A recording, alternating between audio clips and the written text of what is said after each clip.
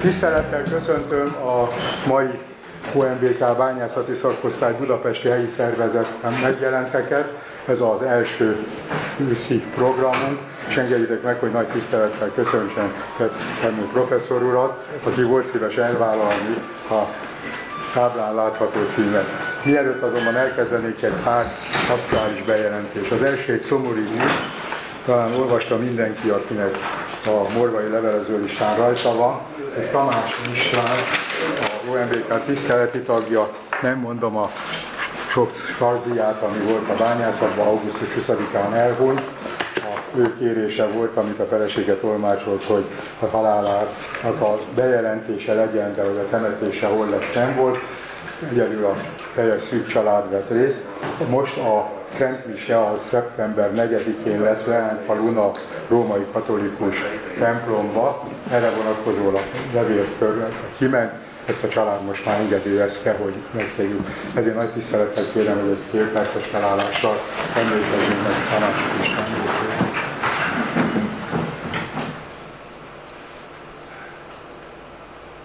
Köszönöm szépen. És akkor rögtön szeretném bejelenteni a következő programokat, hogy tudjátok. Október 1-én, tehát az az elsőket, dr. Héjas István tart előadást Környezetvédelem és Energiapolitika címen. Ő Miskolci Egyetemen végzett 1961-ben, 70-ben a Műegyetemen végzett villamosmérnökként, és különböző nagy tudományos fokozatai vannak, matematikában különösen az egyetemre úgy vették föl valami országos matematikai verseny első helyezettje volt. Ő vállalta ezt az előadást, és november első napjaiban, ezt most telefonon egyeztettem, Kasó Attila, aki megkapta már az újabb megbízását az Orbán miniszterelnöktől, hogy a miniszteri biztosségként folytatja a munkáját, ő pedig vállalta aktualitások a bányászatban címben novemberében, és decemberben pedig hát egy évzáró taggyűlés legyen. Tehát ez a, hogy mondjam, első fél évre rendelt Szent Evangéliumnak a szavai, és most tisztelettel nagyon szépen megkérem professzor úr, hogy előadásokat megtartani szíveskedjék. Köszönöm szépen. Tisztelt elnök úr, kedves kollégák, kedves vendégek! Mindenek előtt szeretném köszönteni önöket, jó szerencsét! Jó szerencsét! Jó szerencsét. Azt hiszem, ezt azért tehetem meg, mert magam is egy bányatelepen nőttem föl Nagymányokon, és egyetemista koromban minden nyáron én is dolgoztam a Nagymányoki bányában, előhajtáson. Ugye az egy kamra fejtéses kis bánya volt, ugye, fönt bizony egy-két pályáról együtt, mert kicsik voltak a csapatok, én is sok szenet talicskáztam le a gurítóhoz. Tehát belülről ismerem egy kicsit a bányászok életét, ismerem azokat a német szakkifejezéseket, amit a bányászok akkor még használtak, ugye? Hisz a németektől vettük át ugye a bányászkodást. Ennyit magamról, és egy furcsa címet választottam, nem csak a mai előadásom címeként, mert noha az egész életemet, a szakmai életemet az energetikában töltöttem, ugye feltűnt nekem évekkel ezelőtt a globális felmelegedés témája, és valahogy a mérnöki racionalitásommal egyszerűen nem tudtam elfogadni azt, hogy érvényesülhet a globális felmelegedés. Ez az egyik oka annak, hogy ezzel a kérdéskörrel kezdtem foglalkozni, és elsősorban azzal, hogy az egész klímakutatás, a globális felmelegedés hogyan hat az energetikára, és hogyan torzítja el, főleg Európa és az egész világ, és így Magyarország energiapolitikáját, mert eltorzítja. Ez az egyik ok, hogy kezdtem foglalkozni a globális felmelegedéssel, és alul szerepel három publikáció, tehát lehet látni, hogy 2011-ben 12-ben, 13-ban jelentek meg ezek a publikációk. Ott nincsenek ábrák, ma inkább ábrák felhasználásával fogom a témakört bemutatni, ott inkább szöveges indoklásokat, tájékoztatásokkal találkoznak, iszonyú sok hozzáférhető, az interneten hozzáférhető információra hívom fel a figyelmet, tehát ha valaki el akar indulni ezen a területen, bátorítani tudom, mert az interneten ma már szinte minden hozzáférhető. hozzáférhető. De van egy másik oka is, hogy kezdtem foglalkozni ezzel a témával, és azt hiszem, hogy önök sokan velem együtt fognak érezni, annak ellenére, hogy mi a magyar energetikáért, önök a bányászatért sok mindent tettek, ugye egy ideje nyugdíjasok, és a rendszerváltozás után egy olyan furcsa állapot állt be, hogy a szakemberekre, a szakmákra ezeknek a rendszerváltozás utáni kormányoknak nem volt szüksége. Nem támaszkodtak ránk. Nem tám- Sőt, negligáltak bennünket. Negligáltak bennünket. Erről írtam is egy kis cikkecskét, kérem szépen, olyan címmel, hogy számüzetésben idehaza. És ez nem jelenhetett meg idehaza. Ausztráliában jelent meg a Magyar Élet című heti újságban. Ez is jellemző a mai állapotokra. Szeretnénk tenni valamit, tudnánk is sok mindent tenni a magyar energetikáért, a magyar bányászatért, de hát nem lehet. Nincsenek fórumaink, nincs pódiumunk, stb. Mi ennek a súlyos következménye? Két súlyos következménye. Az egyik, hogy azóta sodródik a magyar energetika, szó szerint sodródik, a bányászatot meg egyszerűen tönkretették. Ez az igazság. Tehát ez a másik ok, hogy miután a hivatalos energetika nem tart igényt a mi tudásunkra, felkészültségünk, tapasztalatainkra, az ember, ha akar valamivel foglalkozni, keres egy témát, tehát ez a másik oka, hogy elkezdte foglalkozni a globális felmelegedéssel. Két hamis, manipulált mítosz uralja ma az energetikát. Az egyik, hogy kimerülőben az energiahordozó készletek. Igen, egyre többet használunk fel, de nem igaz, hogy kimerülőben vannak a készletek, többet fedezünk föl, többet találunk. Ugye? Tíz évvel ezelőtt már tartottam egy előadást, hogy jé, az olaj kitermelés a csúcsán van, ezen túl csökkenni fog, azóta sem csökken, újabb és új lelőhelyeket találnak, még inkább érvényes ez a gázra, 45 év múlva fogjuk elérni a kitermelés csúcsát, ugye főleg most, amikor a pala, a pala gáz forradalma van Amerikában, ugye óriási palagáz mennyiségeket tudnak már kitermelni, tehát nem akarok ezzel tovább foglalkozni. Miért jó ez az egész, hogy ezt kérem szépen manipuláltan hangoztatjuk napról napra mindenütt, hogy fel lehet hajtani ugye az energiaárakat. A másik ilyen téma, a másik mítosz a globális felmelegedés, kérem szépen, tehát ezzel akarok részletesen foglalkozni. Ez a mítosz, meg mit tesz lehetővé ennek az elfogadottsága, hogy az energiahordozó szerkezetet át lehessen alap, alakítani, kérem szépen, és nagy na, napjainkban folyik ez, mint majd látjuk később az EU energiapolitika és a német energiapolitikákkal kapcsolatban. Egyik mítosz sem igazolható tudományos alapon. Ez a lényeg, nem? Akkor, akkor mi van mögötte? Hát ezek érdekvezérelt folyamatok, ahogy a Bogár professzor mindig mondja, ugye a pénzügyi háttérhatalom az, amely igazgatja ezeket a nagy, világra kiterjedő folyamatokat. Kicsit közelebbről akkor nézzük meg a klíma és energiapolitika lényegét, természetesen csak nagyon röviden tudunk mindenre kitérni. Az ezred fordulóig függetlenül futott a világon és Európában is a klímapolitika és az energiapolitika.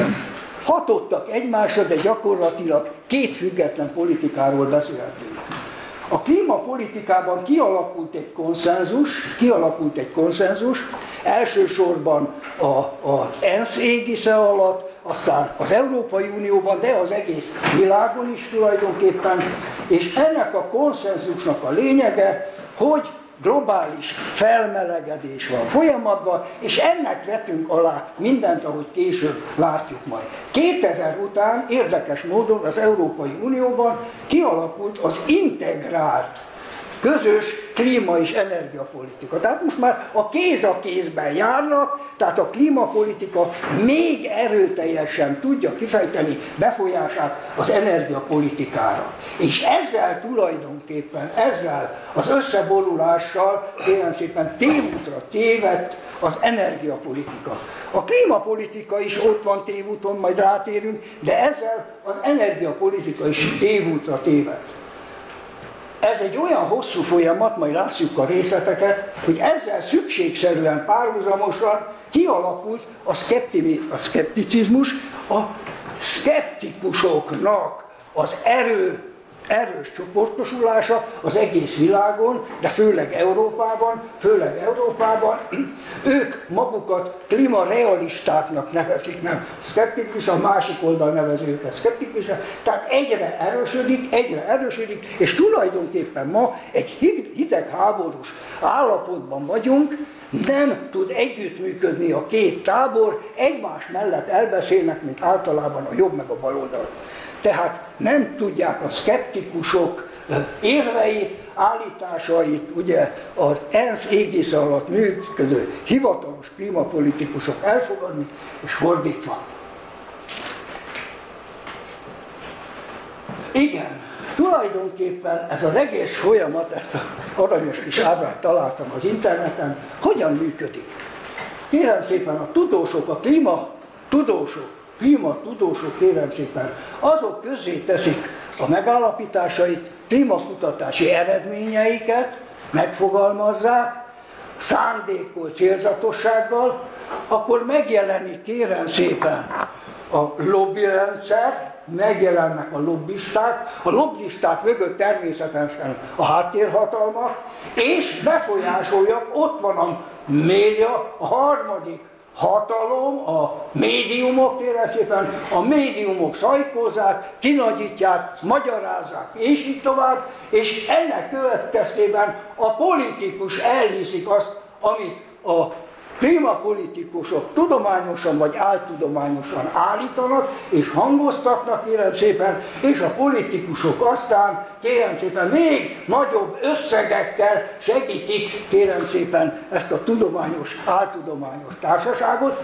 Kialakul ez az ördögi kör, tehát egy pénzforgalmi kör tulajdonképpen, de szeretném felhívni a figyelmet, hogy mivel állandóan erősödik, ez egy pozitív visszacsatolás, és tudjuk a szabályozás technikából, hogy a pozitív visszacsatolású, visszacsatolású kör az instabil.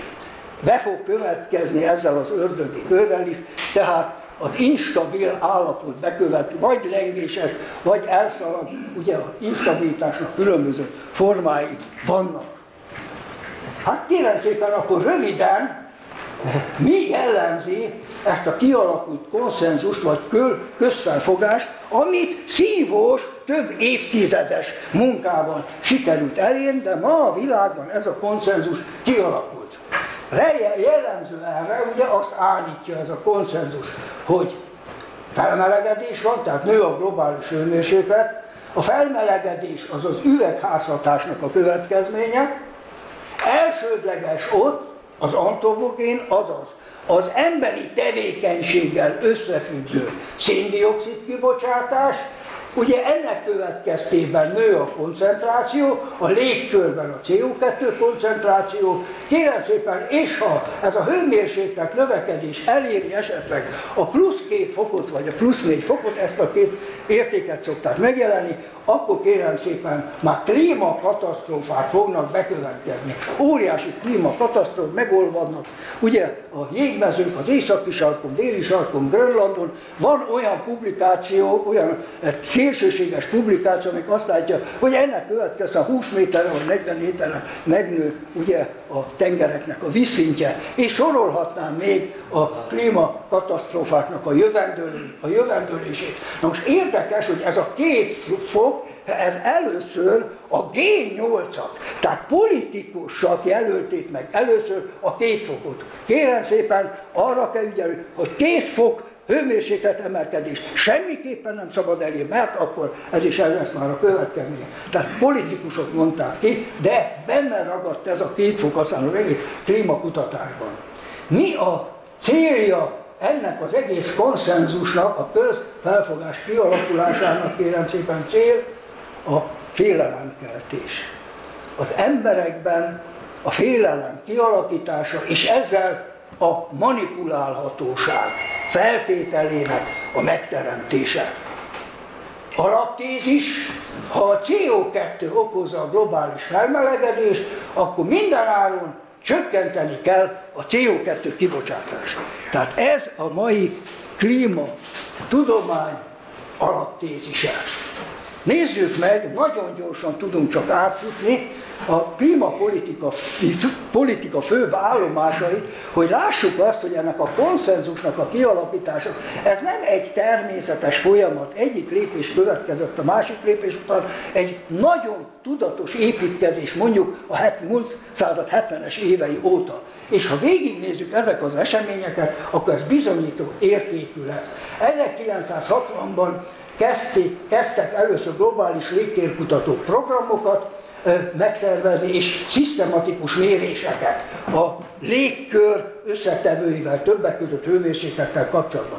72-ben tartották az első ENSZ konferenciát az emberi környezetről, és ettől kezdve tulajdonképpen az egész klímakutatás és klímapolitikát az ENSZ a maga irányítása alá vonja, és ma is még ez van tulajdonképpen. 79 éghajlati világkonferencia, érdekes módon, tessék megnézni, pirosra kiemeltem, itt megfogalmaz, hogy a CO2 hozzájárulhat esetleg, ugye, a globális felmelegedéshez, és már a globális felmelegedés kifejezés akkor még nem él, de mondják, hogy hát a légkör hőmérséklet emelkedhet.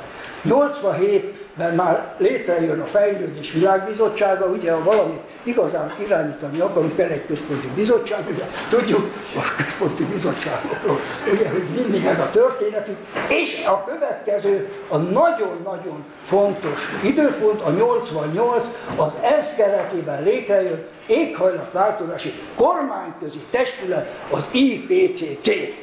Ennek van a legtöbb felebe, máig irányítja tulajdonképpen a klímakutatás, majd szó lesz róla, de nem ugrok elébe, mert itt következik mindjárt. 88 az egy ENSZ közgyűlés eh, keretében megfogalmazódik, hogy klímaegyezmény szükséges, világszintű klímaegyezmény szükséges.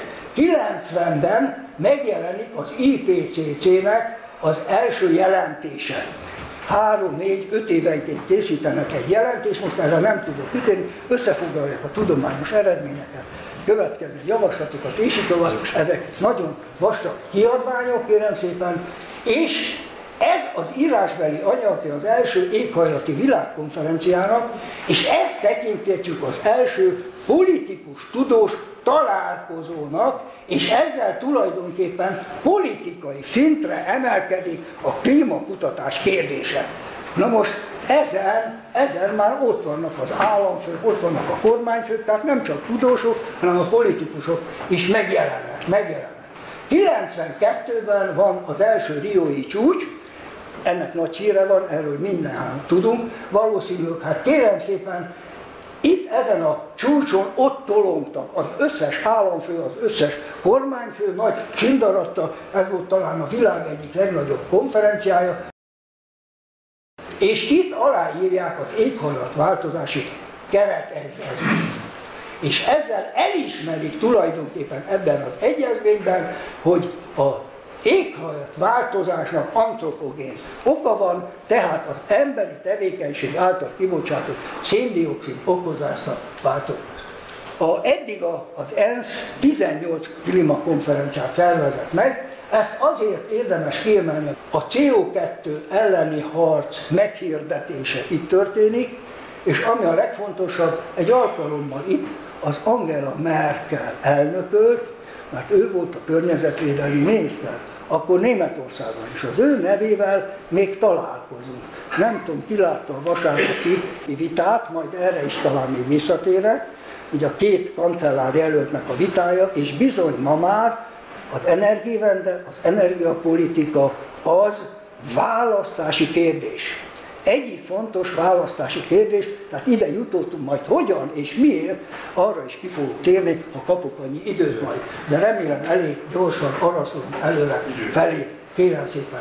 Ez is választó vonal, ettől kezdve áll ennek az élére Európában Angela Merkel. Angela Merkel. A kiotói egyezmény nagyon fontos, mert a kiotói egyezmény eh, keretében már korlátozzák a CO2 kibocsátást. Általában azt mondják 5%-ban, Európa többet vállal el, és ettől kezdve az Európai Unió áll az egész klímapolitika és a hozzákapcsolódó energia, vende energia átalakulás élére. 2012-ben, múlt évben kihagyok én bizonyos lépéseket, összehívják Rio de Janeiro Rio Plus tehát a 20. évfordulóra, ebben meg akarják erősíteni az eddigi célkitűzéseket, csak nem sikerül az dokumentumot aláírni, nincs ott már Obama, nincs ott már Merkel, nincs ott már Cameron, nincs ott már az orosz elnök, és így tovább, tehát a nagy politikusok már nem mennek el, tehát leszálló ágba érkezett ez az egész szervezkedés, és ugyanígy, ugyanebben az évben Katarban volt egy klímakonferencia, az is egy megtorpanást jelez tulajdonképpen. Így sem sikerült, tulajdonképpen a kiotói egyezményt akarták megerősíteni, és szigorítani akarták a kibocsátási korlátokat, de nem sikerült. Egyetlen az Európai Unió és Ausztrália írta alá, és a nagy fejlődő országok szépen kifarolnak, eddig se vettek nagyon részt, de még inkább kifarolnak ebből az egész próbálkozásból. És ami a legfurcsább, most nem olyan régen, az Obama néhány héttel ezelőtt, kérem szépen, ugyanis az amerikai kongresszus az sohasem hagyta jóvá a CO2 kibocsátással kapcsolatos igazi kor, korlátozásokat törvényi szinten nem. Nem hagyta jóvá, az Obama, Obama azt mondta, ezt ő megunta, és nem várok tovább a kongresszusra, kijelentette, hogy hát valamilyen módon a törvényt fognak hozni. Mindezek ellenére, tehát látjuk a folyamat, a, lépkedünk előre, ugye az ENSZ, a, igen, az ENSZ keretében, az ENSZ keretében eh, kibocsátás csökkentési korlátozásokat fogalmazunk meg, ennek ellenére kijelenthető, hogy folyamatosan nő továbbra is a CO2 koncentráció, elsősorban Kína, India, tehát a fejlődő országok, akik, akik nem csak azért, mert olyan fejlődésben vannak, hanem mert óriási hát, tüzelőanyagok felhasznált, tüzelő mennyiség felhasználásáról van szó, el sem tudjuk szinte képzelni. Mind ezeknek, amikről eddig szó volt, és az egész éghajlatváltozási koncepciónak a megalapozása az tulajdonképpen az IPCC vizsgálataival történik, igen ám, de kérem szépen itt pirossal ki van emelve, hogy ezek modellvizsgálatok. Tehát az IPC modellvizsgálatokat végez, és a modellvizsgálatok, a szimulációs eredményekből hozza állandóan azt a következtetést, hogy globális felmelegedés van, ezt a széndiokszid okozza, tehát a széndiokszid kibocsátást kell csökkenteni. Hát akkor ezek a modellekkel kéne egy kicsit foglalkozni. Nem tudunk sokat. Nagyon fejlődnek, változnak ezek a klímamodellek. Kérdezem a 70-es évektől még egy ilyen egyszerű modell, elsősorban a CO2 kibocsátásra fogva, aztán bevonják a felhőzetet, bevonják a jégmezőket, a sarki jégmezőket, Grönland jégmezőket, aztán bevonják a a növényvilágot, és így tovább, tehát itt hat lépcső látható, és eljutunk kérem szépen az AR4 jelentésig, tehát az ENSZ négyes számú jelentéseit, amely 2007-ben jelent meg. Na most miből áll tulajdonképpen az egész szimuláció? Ugye nagy alrendszerekből áll, így az atmoszféra szimulációjából, a hidroszféra, óceánokban milyen folyamatok, jelenségek játszódnak le, a jégtakarók bevonásával, az egész bioszféra, növény állatvilág bevonása, és a kőzetek, ide a földfelszín bevonása, de ide tartozik a vulkáni jelenségeknek a, a bevonása is. Na most miről van szó? Óriási rendszerek, óriás egyenlet, a matematika legkorszerűbb módszereivel, hisz a matematikusokat is bevonják. A világ minden tájáról, nagyon sok helyen van ilyen kutatási kutatóhelyek, kutatóintézetek, ugye, tehát próbálják leírni mindenzen rendszerekben, és a rendszerek kölcsön hatását, kérem szépen, a fizikai, kémiai folyamatok leírásával tömeg és áramokat írnak föl, a kölcsönhatásokat figyelembe veszik, visszacsatolásokat figyelembe. De ha már megvan a modell mindezeknek a figyelembevételével, és egy bonyolult egy, egy, egyenlet rendszerünk van, kérem szépen, akkor természetesen ezek, ez a matematikai modell ez számtalan kezdet és peremfeltétellel rendelkezik, ezeket is meg kell adni. Egy konkrét szimulációs futtatáshoz. Vannak a közelítések, mert a saját természetes bonyolultságával nem lehet leírni ezeket a folyamatokat, tehát közelítéseket kell alkalmazni. És akkor az összes matematikai egyenletben vannak az együtthatók, a paraméterek, amelyeknek ugyancsak számszerű értéket kell adni, hogy a szimulációt le lehessen folytatni. Ugye?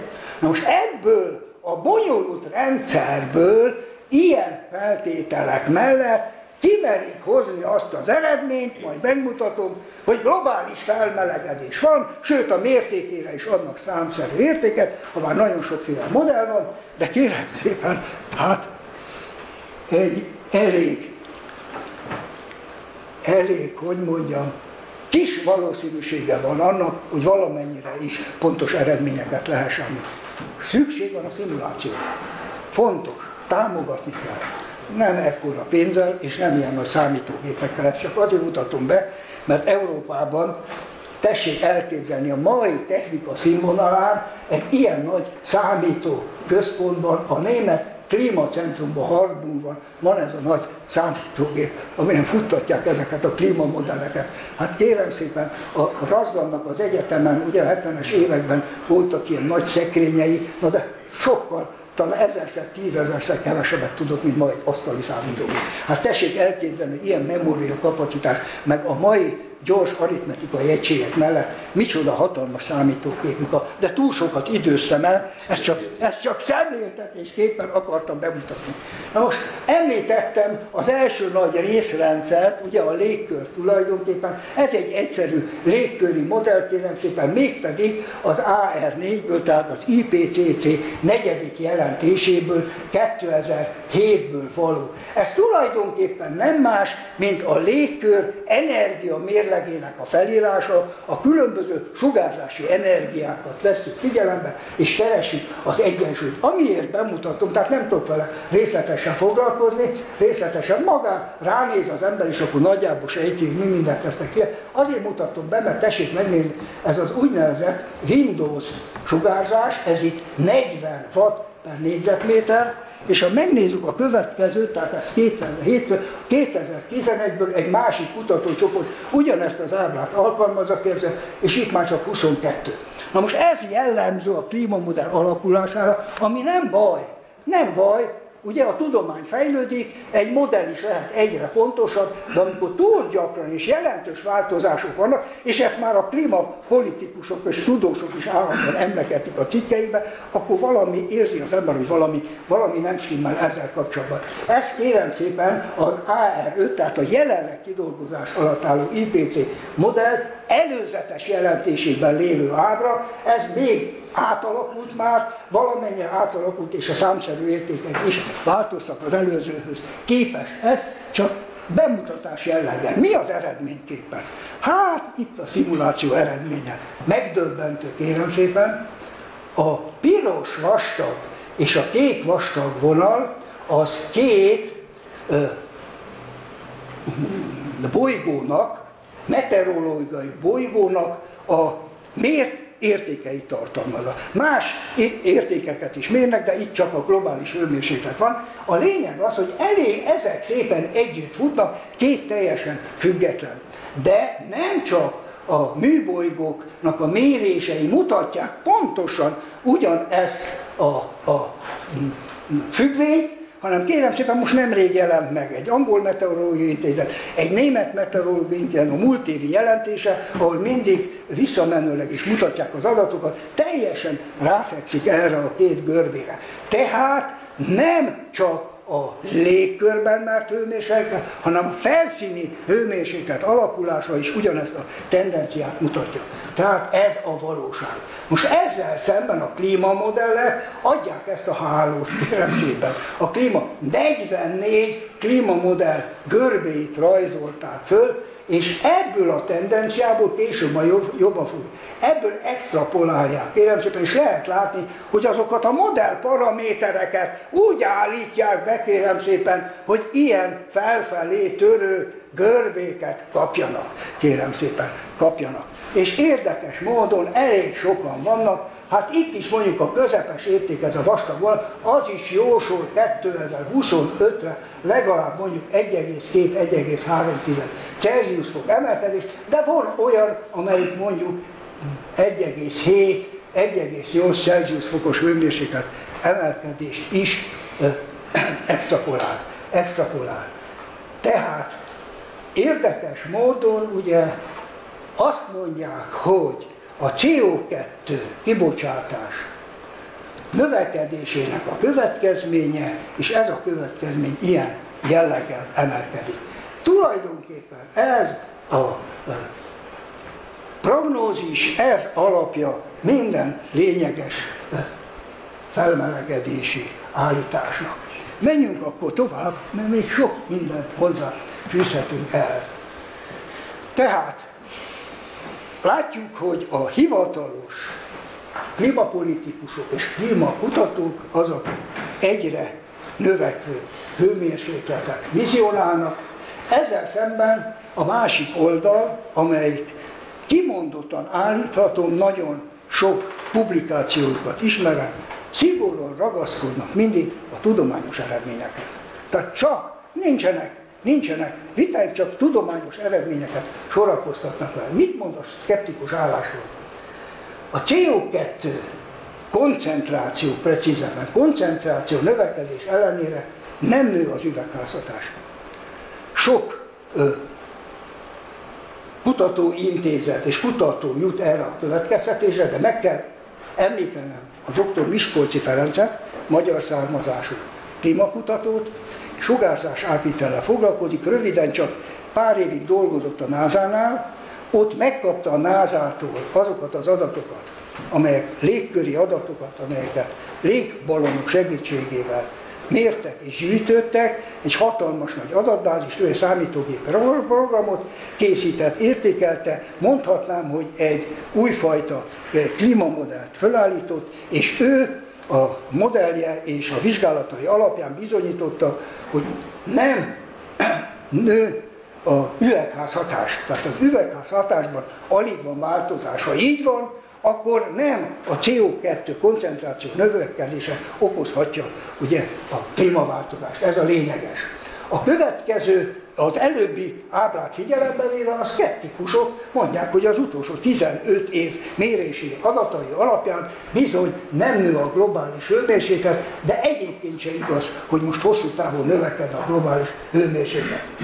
A következő érdekes észrevétel a szkeptikusoknak, hogy ugye a, a klimatudósok azt mondják, hogy, hogy nő a CO2 koncentráció, és ennek következménye a hőmérséklet növekedés, ez az ok-okozati kapcsolat nem igaz, ez fordítva van, a CO2 koncentráció változása az időben követi a hőmérséklet változást. Tehát eh, ok a hőmérséklet változás, és utána változik a CO2. Azért, mert a CO2 bármilyen furcsa, elsősorban nem azért változik most a a, az emberi tevékenység következményében, de sokkal erőteljesebben változik, nagyságrendben másképpen változhat, ha figyelembe veszünk azt, hogy a levegőnek a gáz, a CO2 is az óceánok hatalmas vizében oldódik, oldódik, és ha ez a hőmérséklet változik, akkor az oldódott mennyiség változik, és ez befolyásolja. Ha melegszik a vízrétegek felső rétegei melegszenek, akkor eh, széndiokszid, az oldódó képesség csökken, a széndiokszid kiválik és bekerül a légkörbe. A tengerek vizében, az óceánok vizében tárolt CO2 tömege nagyságrendekkel nagyobb, mint ami a légkörben van. Ugye? Tehát ezeket figyelembe kell venni. A hőmérsékletváltozás domináns, mondják a szkeptikusok, dominánsan a napfolt tevékenységgel függ össze. Na most a szkeptikusok egyre szervezettebbek, egyre nagyobb erőt képviselnek, Ausztráliában megfogalmazták a szkeptikusok kézikönyvét, hozzáférhető az interneten, de kérem szépen petíciókat, van 5-6 petíciót írtak már kormányoknak, meg az IPCC-nek, kérem szépen. De ezeket a petíciókat kérem szépen 30-40 ezer tudós írja alá. Ilyen nagyszámú tudós írja alá, és az IPCC-nek körülbelül ők becsülik a szkeptikusok, név szerint nyilvántartják őket, kérem, kb. 1500-1700 kutató, olyan kutató, aki elismert kutató dolgozik az IPCC-nek. Tehát ilyenek az arányok, ennek ellenére ugye itt nem igaz, hogy a sokló disznót, disznót a mögöttes erőviszonyok miatt, erőviszonyok miatt. Konferenciákat rendeznek, kiadványokat adnak ki, és így tovább a szkeptikusok. Most, ha két ilyen nagy tábor van, és ezek valóban ma hidegháború folytatnak egymással, akkor föltesszük a kérdést, hogy hát a klímakutatás is tévúton van. Tévúton van. Jogos a kérdés. Én erre azt mondom, választ csak a méréseken alapuló tudományos vizsgálatok adnak, adhatnak, és fognak is adni. Nézzünk néhány ilyen tudományos eredményt, amit a szkeptikusok hangoztatnak rá. Hát kérem szépen, ez egy nagyon fontos ábrámra utaltam. Itt látjuk a légkörben a CO2 koncentráció növekedését, tehát tartunk ma durván 400 ppm-nél, az 0,04 százalék. Ugye? Százalék. Tehát nagyon kevés széndiokszid van a levegőben, tehát ezért mérjük milliómod részben, azaz ppm-ben, ppm-ben mérjük, és kérem szépen a korábban felrajzolt globális hőmérséklet, tényleg azt látjuk, hogy a 70-es évektől szépen nő, és hát a klímakutatók ezt szépen meghosszabbítják a modern vizsgálatai alapján, ahogy ezt már mondtam, de nem igaz, ugye, mert egy ideje kérem szépen nem változik. Na most vannak olyan, olyan ö, ö, kutatóhelyek is, ahol lineáris regresszióval azt hozzák ki, hogy ebben a 10-15 évben, 15 évben csekély kis 0,04 százados Celsius hőmérséklet csökkenés tulajdonképpen. Az átlagérték egy kicsit csökkent, de megeléghetődünk egyen. Most ezzel kapcsolatban iszonyú sok vita alakult már ki a hivatalos klímapolitikusok között is, és hadd említsem meg egy nyugatnémes Storch professzort, aki az IPCC-nek szakértője egyébként, és ő két hete nyilatkozta körülbelül, kérem szépen, ezt akceptálni kell. Akceptálni kell. Nagyon sok ilyen mérés jelent. És ő azt mondja, vágyjunk még ki, de ha öt év múlva is még változaton, vagy esetleg csökken egy kicsit majd a globális hőmérséklet, akkor ki kell dobnunk a klímamodelleket, és újra kell fogalmazni a klímamodelleket. Színű. Tehát nagyon sokan eljutnak ide, eljutnak már ide a klímapolitikusok közül is. Nagyon fontos eredmény, ugyancsak kísérleti kutatási eredmény. Ugye, ha az előző nem akarok visszamenni, de visszamegyek, mert érdemes, ugye, hát mit csinálnak az ilyen áltudósok életében? kialakul egy ilyen rövid szakasz, a modelljeiket úgy alakítják a paraméter értékeket, hogy szépen lehet extrapolálni.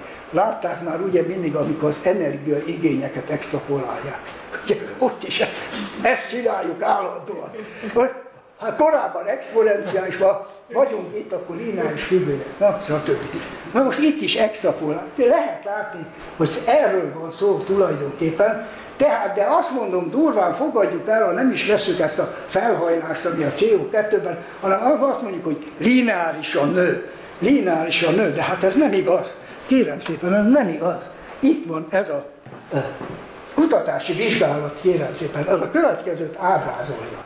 Ha csak 20 ppm CO2 lenne a levegőben, az okozhatna maximum másfél Celsius hőfok hőmérséklet növekedést. De ha 20-ról 40-re változik, plusz további 20 ppm, akkor az újabb 20 ppm, az kérem szépen már csak 0,3 Celsius fokos hőmérsékletváltozást okozhat. És ha kérem szépen elmegyünk ide a 400 ppm-hez, ahol most vagyunk, akkor kérem szépen az utolsó 20 ppm a 400-on belül, az már csak ezt a pici kis hőmérsékletváltozást, nem is tudom azt számszerűen kifejezni. És tessék most megmondani, mi van, ha itt elmegyek ennek a duplájára, ide a szomszéd falra, kérem szépen 400-ról 800-ra, azaz megduplázom a légkör CO koncentrációt, akkor gyakorlatilag a hőmérséklet már nem képes befolyásolni. Ugye? Nagyon fontos tudományos eredmény. Nagyon fontos tudományos eredmény. Következő fontos tudományos eredmény, kérem szépen, Antarktiszon a Vostok állomás, tudományos kutató állomásnak ez az egyik legfontosabb kutatási eredménye, amely kérem szépen azt mutatja be, hogy az elmúlt hosszú időszakban, majd megmondom milyen időtávlatban, hogyan változott a globális hőmérséklet a kék görbe, és hogyan változott a CO2 koncentráció a piros görbe. Piros görbe. Kérem szépen, jég fúrásokat végeznek a jégtáblákon, és eljutottak ma már több mint 3000 méter mélységig. Minden évben leesik a hó, képződik egy hóréteg, és ez a hóréteg tulajdonképpen idézőjelbe memorizálja, tehát ebből kicsalható az az információ, hogy akkor, amikor leesett a hó, akkor milyen volt a globális hőmérséklet ott, és mennyi volt a levegő CO2 koncentrációja. Tehát innen származnak tulajdonképpen, megbízhatónak kell tekinteni, mert azóta, mióta ők publikálták, iszonyú ezer számra átveszik ezt az eredményt, és használják a klíma kutató. Mi állapítható meg sok minden ebből a diagramból, nagyon sok minden fontos. Az egyik dolog, kérem először is, ez az időtávlat, az 420 ezer év. 420 ezer év. Na most nem csak a jégzugókból, rövidebb időszakokra kérem szépen a, a cseppkövekből is, a, minden, ami rétegződik. Kagylók rétegződéséből. Csak nem ilyen hosszú időt tart. Amíg éltek, amíg képződtek a rétegek, ugyanilyen eredményeket lehet kimutatni. Mi olyan fontos következtetések vonhatok le? Hát kérem szépen, a globális hőmérséklet sohasem állandó. Mindig változik. Ez a legfontosabb. Mindig változik. És eredetileg, ha teljes tartomány kifejező, majdnem 10 Celsius fok Nagy jégkorszakok vannak, aztán felmelegedések, jégkorszak, felmelegedés. És ebben az időtartományban négy ilyen nagy ciklus volt, és most egy ilyen ötödik ciklusnak vagyunk az elején. Vagyunk az elején. Ugye? Na most, ami érdekes, hogy statisztikus jellegűek a görbék, csúcsok vannak, zuhanások, csúcsok, zuhavölgyek, csúcsok, állandóan változik kisebb-nagyobb csúcsokkal. Most ki meri ma megjósolni, amikor kérem szépen egy ilyen egység az költ tízezer év, tízezer év, ki meri megjósolni ma, hogy 2020-ban vagy 2050-ben milyen lesz a globális hőmérséklet? Hát nagy merészség kell hozzá, amikor tudjuk, hogy az elmúlt időszakban így változott. A következő nagyon fontos eh, észrevétel ezen diagram alapján itt figyelhet meg. Érdekes az egyébként még elmondaná, hogy a felfutás, a hőmérséklet növekedés az ilyen 10-15 ezer év alatt van, a csökkenés az meg ilyen 100 valahány ezer év alatt. Év alatt. Ez is nagyon érdekes, de ez alapján ilyen ciklikusnak tűnik, hogy ilyen is lesz, mindig nem meri senki állítani. De ami nagyon fontos, ha a görbéket egymáshoz viszonyítjuk, a felfutási időszak elején látható, hogy a CO2 koncentráció késik időben. A CO koncentráció késik. Itt látható a leggyönyörűbben. A CO koncentráció késik, és a klímaszkeptikusok állításai között én ezt már meg, megemlítettem. Tehát ha ez valóban így van, így van, akkor CO2 koncentráció változása nem lehet oka a hőmérséklet változása. Kérem szépen, ezt az utolsó 150 ezer évek szakaszt, ezt digitalizáltuk, kérem szépen, ezek a digitalizált értékek, tehát ez a hőmérséklet, ez a CO2 görbéje, és kérem szépen, miután én tudtam azt, hogy ez alapvetően az óceánok vizében lejátszódó gáztárolási folyamatoknak a következménye, ilyen tárolási folyamatokkal sokat foglalkoztam az energetikán belül, ezért azt mondom, csináljunk egy durva közelítést, ha a klímakutatók megengedik ottan az IPC keretében, akkor miért ne engedjük mi is meg, és kérem szépen azt állítom, hogy ez durván egy egytárolós folyamat, egy tömegtárolási folyamat, tömegtárolási folyamat, szabályozás technikából ismerjük, egy tárolós folyamatot, tehát ha kérem szépen, ha bemenő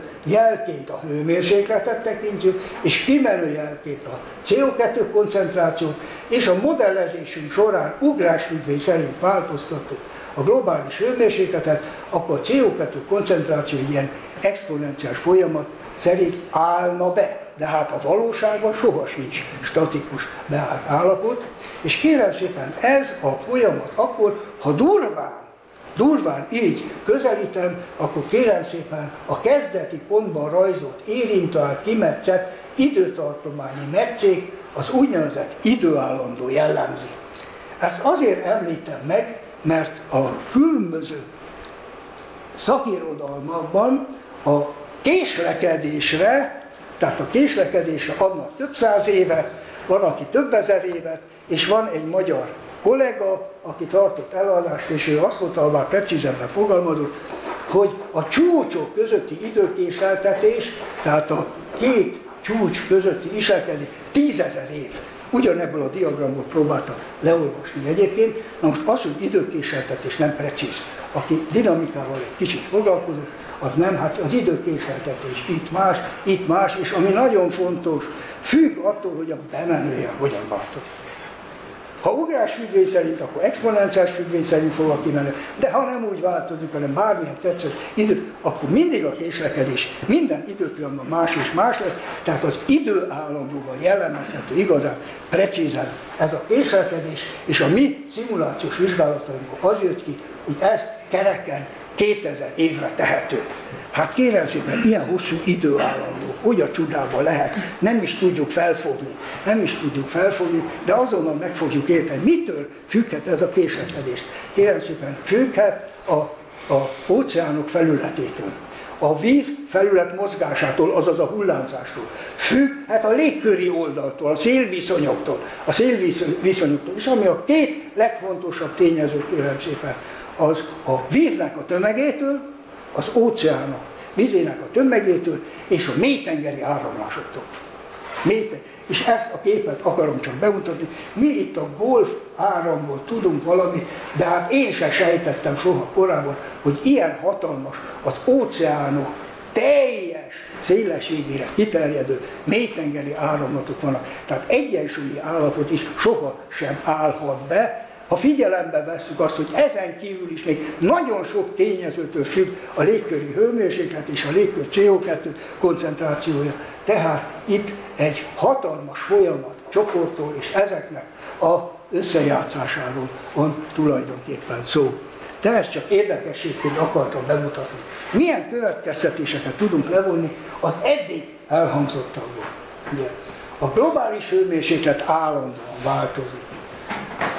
Döntően a hőmérséklet változás következményeként változik a levegő CO2 koncentrációja, és erre csak rá lapátolódik az általunk kibocsátott CO2 mennyiség. Az antropogén CO2 kibocsátás nem okozhat jelentős hőmérséklet változást, azt az egyik kutatási eredményből világosan látjuk. A CO2 koncentráció meghatározott időkéslekedéssel követi a globális hőmérséklet változását, ugye azt mondtuk, hogy egyszerűsítve egy ilyen egy tárolós, tömegtárolási folyamatként írható le, és ebben az esetben közelítőleg azt mondhatjuk, hogy az időkéseltetése jelentő időállandó az 2000 év. Igen ám, de ha ez így van, akkor föltehetjük a kérdést, hogy akkor dominánsan mitől függ? Akkor a globális hőmérséklet. Eddig meg azt mondtuk, hogy mitől nem. Nem függ. Hát kérem szépen, ez a klímakutatásnak, illetve a kutatásoknak egy másik izgalmas területe, persze az ember gépészmérnökként vagy mérnökként nem tud ezekbe igazán elmélyedni, elmélyedni és megismerni a tudományos mélységet. De ami lényeges, kérem szépen, az 1700-as évektől kezdve vizsgálják a napfolt tevékenységet. És a napfolt tevékenységet egy adott időszak három hónap, vagy három év alatt, tehát egy meghatározott időperiódus alatt keletkező napfoltoknak a számával jellemező. Na most hétről hétre, ugye van egy német szakirodalmi forrás, amit én állandóan használok, hogy hétről hétre, meg vagy napról napra, lehet, hogy napról napra megjelenik a nap, minden napfoltnak van egy száma, és akkor az új napfoltokat számozottan hozzá kell, és számolják állandóan napot. Na most azt tapasztaljuk, kérem szépen, tehát itt van a napfolt, napfolt tevékenységre jellemző napfoltoknak a száma, ez a kék vonal, ez a szép hullámzó vonal jelzi ezt a számot, noha az amplitúdó nagyon eltér, statisztikusan eltér, de azt látjuk, hogy ennek a görbének a ciklus ideje, lengés időnek nevezhetnénk benne, a ciklus ideje kérlek az gyönyörűen majdnem állandó. Tehát ebben a tevékenységben igenis karakterisztikusan egy ciklikus tevékenység figyelhető meg, megfigyelhető, ugye? mert számoljuk a napfoltoknak a számát. És kérem szépen, ha ezt a napfoltoknak az átlagos számát, kérem szépen, itt 30 évenként keletkező napfoltokhoz egy-egy oszlop tartozik, 30 évenként, fölrajzoljuk, akkor fölfedezzük valóban a ciklikusságot. Ez nem olyan izgalmas még, mint a következő ábra, hogyha ez alá oda tesszük kérem szépen az átlagos hőmérséklet, a globális hőmérséklet értékét, akkor érdekes módon ugyanaz a ciklikusság figyelhető meg. Tehát ez az európai középhőmérséklet, európai középhőmérséklet. Ebben is a ciklikusság. Hát kérem szépen, akkor jönnek a matematikusok, és meghatározzák a korrelációs állandót. Mert az jellemző szápszerűen a kettőnek a korrelációja, és azt kapjuk megdöbbenőtéssel, kérem szépen, hogy 1600-as évektől kezdve, ugye a évezred végéig, kérem szépen, 0,8 0,8 fölött van, van egy ilyen periódus, például 1770-es évektől kérem szépen, ahol majdnem egy a korrelációs együttható. Tehát nagyon fontos következtetés vonható le, kérem szépen, a globális hőmérséklet 80%-os valószínűséggel a napfolt tevékenységtől függ, és ezt mi mérnökök igazán el is tudjuk fogadni, el is tudjuk képzelni, mert a bőrünkön is érezzük, ugye a napfoltok eh, nagyobb számban keletkeznek. Kérem szépen, ezek a tudósok, akik ezzel foglalkoznak, több kutatóintézet van a világon, ez alapján hát predikciókat is megfogalmaznak, hogy vajon mi várható. Hát ha igaz ez a ciklikusság, akkor mi várható. És ezt próbálja a szép ábra háttérben a nappal ábrázolni. Kérem szépen, látható, hogy ez a 24. ciklus, 24. ciklusnak a konkrét értékei, tehát csúcs, aztán lemegy a hullámvölgybe, és itt tartunk most, ez a 25. ciklus. Most az az igazság, lusta voltam kicserélni, mert ez már 3-4 hónapja a számítógépemen van, de hónapról hónapról megjelenik az új ábra, kérem szépen, most már valahol itt tartunk, tehát a valóságos értékel egy kicsit már előbbre vagyunk, de a lényeg az, hogy ezek a kutatók, kérem szépen, azt a predikciót jelzik előre, hogy most egy ilyen csökkenési hullámvölgy várható, tehát a napfolt tevékenység csökken. És ha csökken a napfolt tevékenység az előző korreláció alapján, akkor valószínűleg a hőmérséklet is csökkenni fog. Tehát láttuk egy korábbi ö, ö, a műholdak mérései alapján, hogy majdnem viszintessé válik az átlagérték, ugye, és ezért sokan várják ezen predikció alapján azt, hogy akár hőmérséklet csökkenés a közeli jövőben akár bekövetkezhet. Itt egy másik kutató laboratóriumnak az eredménye, ez annyival más, hogy itt ez a fekete görbe, ez összesen 23 23 ciklusnak az átlaggörbéje, Itt van a mért érték, amit a vastag piros, és ez megint a predikció. Tehát ők is egy másik kutatóhely is azt jövendőli, hogy a napfoltok száma a jövőben csökkenni fog. De ilyen sok görbe megjelenik. És most jutottunk el egy nagyon fontos ábrához, kérem. Ugye azt mondtuk, hogy a hivatalos klímapolitika, meg az ENSZ, meg akik mögöttük állnak, ugye félelemkeltést akarnak eh, az emberekben kialakítani, ugye azzal, hogy azt jósolják, hogy a globális hőmérséklet növekedni fog, és különböző katasztrofákra kell felkészülni. Most olyan okosak ezek a tudósok, azt mondták, hogy kellene egyetlen olyan számszerű értéket definiálni, olyan mennyiséget definiálni, ami egy kicsit összevontan, összevontan mondja ki ugye ezeket az állításait. Hát kitalálták ezt a mennyiséget, ez a klíma szenzivitás. A klíma szenzivitás, ez egy számszerű érték, Celsius fokban kifejezve. Az a hőmérséklet növekedés, ami akkor következne be, hogyha a légkör CO2 koncentrációja megduplázódik. Ugye? Ez egy egyszerű érték. Na most ezt a duplázódást, duplázódást, ja nem a duplázódást, bocsánat, vagy majdnem rosszat mondtam, ugye most azt látjuk kérem szépen, hogy ez az érték itten olyan két Celsius fok környékén vagy a fölött van a legtöbb. Na most ezek különböző szimulációk, különböző klíma modellek, műhelyeknek az adatai, tehát még egyszer a CO2 duplázódáshoz tartozó hőmérsékletváltozás, hőmérsékletváltozás. Kérem szépen. Na most a két fokra erre akartak kitérni. Mi ezt a két fokot már említettem először, egy G8-as értekezet mondta ki. És azóta is, két fok, két, és ha ezt elérjük, akkor katasztrófa lesz. Akkor katasztrófa. Na de nézzük meg, mit mond az IPC. IPCC, kérem szépen. Az IPCC négyes jelentése, precízebben fogalmaz, elmondom, kérem szépen, azt mondja, hogy kérem szépen, biztos, hogy másfél fok fölött lesz, ezt mondja az IPCC. Azt mondja, a legvalószínűbb érték, az kérem szépen 3 Celsius fok, nagyon nagy érték, de elérheti, nem úgy fejezték be a szövegben, elérheti a 4 és 4 és fél fokot is. Négy és fél fokot is elég. Most itt van egy másik IC, az nem érdekes, de az AR5-ös, tehát a most készülő jelentés, előzetes jelentésbe, hát még följebb mentek.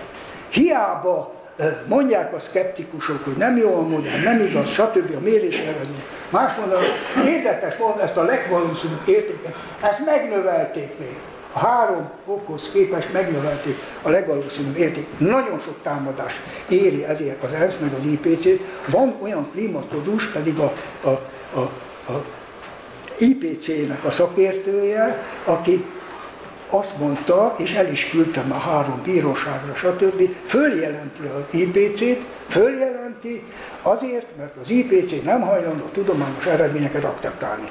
Tehát itt is tartanak már klímatudósok, tehát folyik nagyon a polémia.